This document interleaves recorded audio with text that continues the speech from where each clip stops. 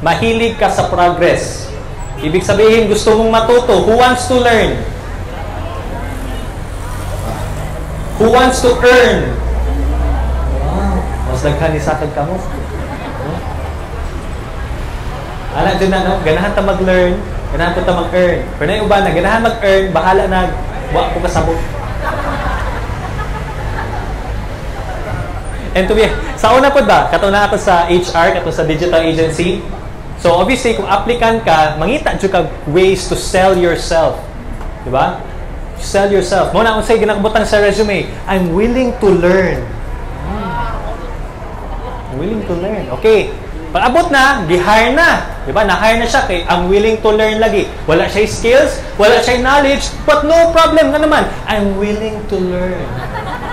Yun ang reason. Pag abot na gani, na training na, wala. Nga naman, kapoy. Ano, nayabag na.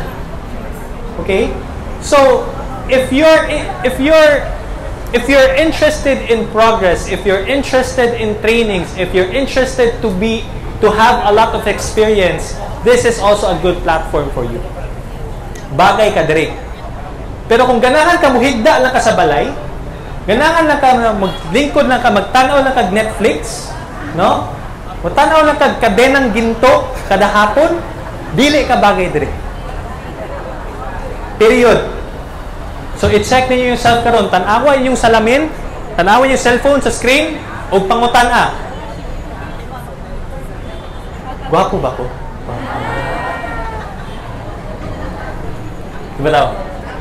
Pangutan na yung sarili niyo kung inaanak ba mo na person. Simple.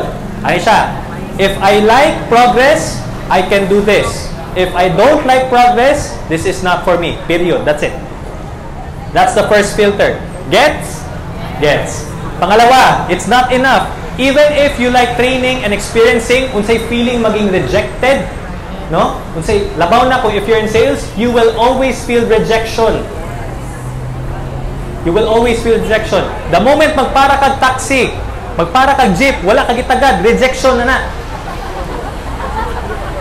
Ewan na kagitagan. Na-late na ka. Diba? Nagpagwapa ka. Nakatali ka buhok. Pagsakay ni mong jeep, gitama ka ni mong tiil. Wala na na. That's also rejection. No? Yun nga lang, you have to go through it. Because those stories will be part of your success journey. Okay?